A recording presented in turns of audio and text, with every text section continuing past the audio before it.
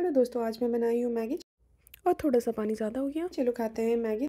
सो अभी का कन्फ्यूज़न ये है कि हम लोग मैगी खाएँ या सूप पिए। जल्दी से कमेंट करके बताइए कि आप लोगों को सूप पसंद है या मैगी?